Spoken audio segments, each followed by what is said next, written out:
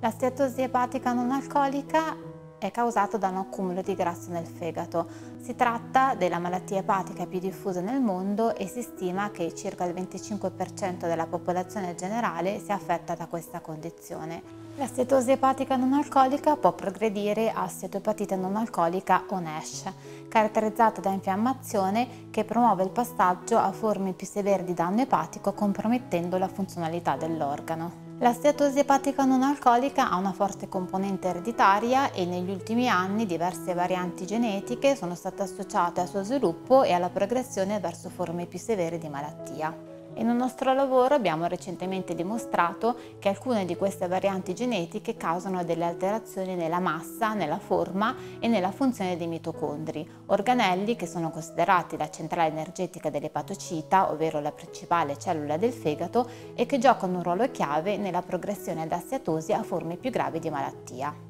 Ad oggi la diagnosi di estatoepatite non alcolica viene effettuata mediante biopsia epatica. Si tratta tuttavia di una tecnica invasiva che non può essere effettuata in caso di danno epatico severo e in età pediatrica. L'obiettivo del nostro studio è quello di identificare un biomarcatore che mediante un semplice esame del sangue ci permetta di diagnosticare la NASH, ma soprattutto di valutare il rischio di progressione verso forme più severe di malattia. Grazie al finanziamento del 5 per 1000 per la ricerca e ai risultati che ne conseguiranno, potremo effettuare un passo ulteriore nello sviluppo di una medicina personalizzata con notevoli benefici per una patologia per la quale ad oggi non vi è ancora una terapia definitiva.